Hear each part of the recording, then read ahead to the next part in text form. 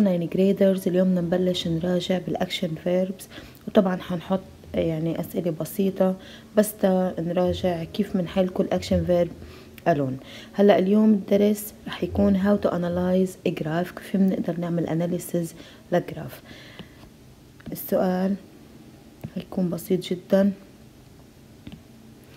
عندي أنا هون 3 test tubes رح نحكي in general 3 test tubes A و B و C.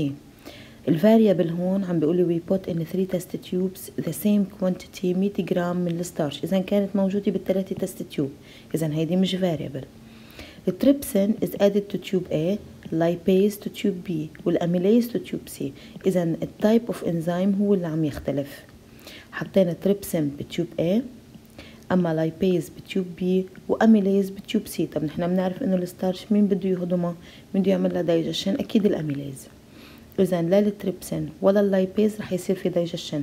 إذا عشان هيك tube A و tube B لاحظوا ال 100 جرام starch at the beginning بقيت intact 100 جرام. يعني هون بقيت intact أو unchanged. في حين ب tube C يلي كان فيها amylase ال 100 جرام قلت للقديه لل zero تقريبا after 20 minutes بعد 20 دقيقة. هون شو راجع قايل؟ إنه هالثلاثه test tubes طبعا آه ثبت ال conditions اللي هي ال temperature وال time بس طبعا كيف بده يغير البي اتش بحسب الانزيم ليحط ال suitable pH لكل انزيم فحط ب tube A وب tube B pH 8 لأنه ال trypsin وال lipase بيشتغلوا على basic medium أما ال amylase حطوا ب بي اتش 7 اذا هم مختار ال salivary amylase وقايل لي ال results are presented in the adjacent document وهيدا هو ال result هون عم بيقول analyze the obtained result. لما بدي أعمل analysis لازم بال analyze شو أذكر؟ ال variable المتغير وعلى أساسها أذكر ال result يعني شو اللي كان عم بتغير بكل آه test tube وعلى أساسها كيف تحولت ال result هون ال variable كان عم بيكون الإنزيم وال result هياها موجودة عندي ب graph. كيف بعمل analysis واضحة أول شيء at the beginning of the experiment بأول آه على ال initial point لازم أحدد هون بعمل comparative analysis بثلاثتهم بقول بال 3 test tubes كان عندي equal amount of آه starch اللي هي 100 جرام أو في أقول 100 جرام آه of starch was found in the 3 test tubes A, B and C بقول in tube A and in أو in tubes A and B in the presence of trypsin and lipase يلي حطهم على pH 8 الستارش بيست أو الستارش remains intact throughout the experiment خلال كل ال experiment أو till the end. هون بدي أوصل بدي أحط connector طبعا هيدا ال connector يلي بده يوصل بين بين الاثنين حيكون while أو whereas أو but لأنه آه ناس بقيت عندها ال starch constant أو intact وناس قلت إذا بدي أكتب ال connector اللي هو while هون ال while بقول in tube C بدي أذكر ال variable. مين ال variable؟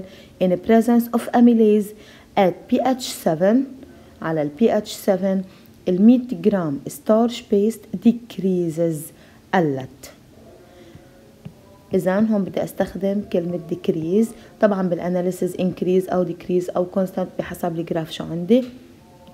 إذا decreases to zero after 20 minutes حتى نقرأها in general نحط الجواب okay حتى نصغر هيدي okay هيدا هو الجواب اللي هو جواب ال analysis بكون أوضح هيك okay حتى نقرأه عم بقول ال 100 جرام of starch was found in the three test tubes at the beginning of the experiment في أقول equal amount of starch اللي هي 100 جرام was found in the three test tubes هلا this quantity of starch remained intact بقيت سليمة in both tubes A and B بوجود مين هون أذكر ال variable in presence of trypsin and lipase على pH 8 respectively till the end while in tube C ب tube C بدي أذكر إسا ال variable in presence of amylase على pH 7 فاصلة شو ال result starch decreases to 0 جرام after 20 minutes إذا أنا بهالطريقة بكون عملت analysis لل graph طب لنفرض انه هو ما طالب analyze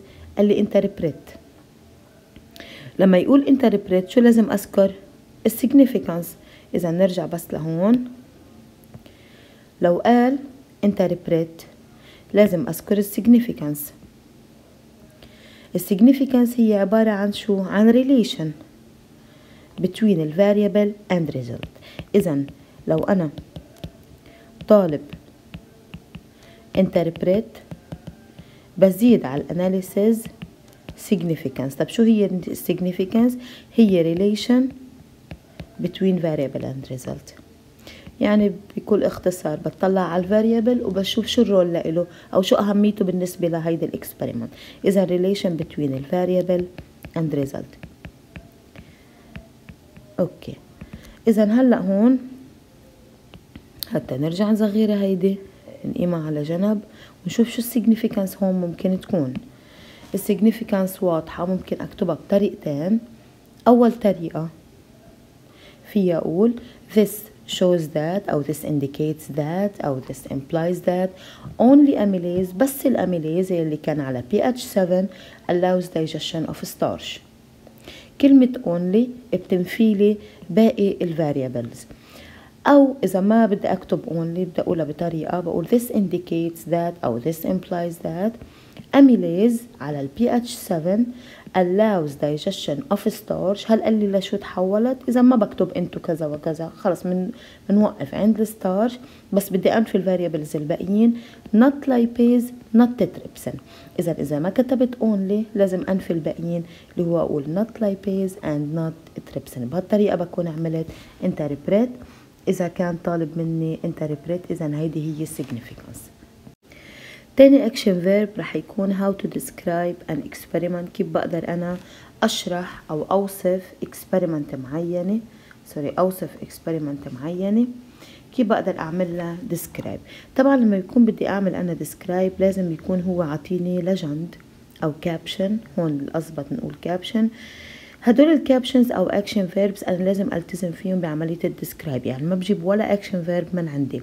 ولازم كل شيء يكون مكتوب ب أو موجود أو mentioned بال document يلي موجود قدامي. لازم أذكره بالتفصيل بدون ما أزيد أو أنقص أو أغير شيء من عندي. هون عم بيقول the adjacent document summarizes the experimental conditions of an in vitro digestion in vitro معناتها outside the body. طبعا of starch paste. describe this document. كيف بقدر أعمل description لهيدا ال document اذا بكل بساطة هون بدي ألتزم بال legend الموجودين هون. بحاول قد ما فيني أستخدم ال passive voice هيدا ال passive voice بهون علي كتابي. فاذا أنا عندي starch paste هون. كاين عامل لها put in both tubes فبقول 2 ملل of starch paste is put in both tubes A and B. Fresh saliva is added to test tube A in addition أو في أقول only fresh saliva is added to test tube A. Gastric juice is added to test tube B in addition. هلا both test tubes اثنيناتهم هالتست tubes A and B are placed in a water bath for temperature 37 degrees Celsius and أو at temperature 37 degrees Celsius for duration 15 minutes جيب الجواب ونرجع نقرأه إذا بنعتبر هيدا هو الجواب هيدا جواب الديسكرايب طبعا هين رح نرجع نقرأه بشكل عام تنشوف نميز بقول 2 ملل starch paste is put in both tubes أو both test tubes A and B fresh saliva is added to test tube A in addition gastric juice is added to test tube B in addition بدل كلمة in addition فيها أكتب only يعني only gastric juice is added to test tube B both test tubes are placed in a water bath At temperature 37 degrees Celsius for a duration of 15 minutes بعتقد صار كتير واضح وهين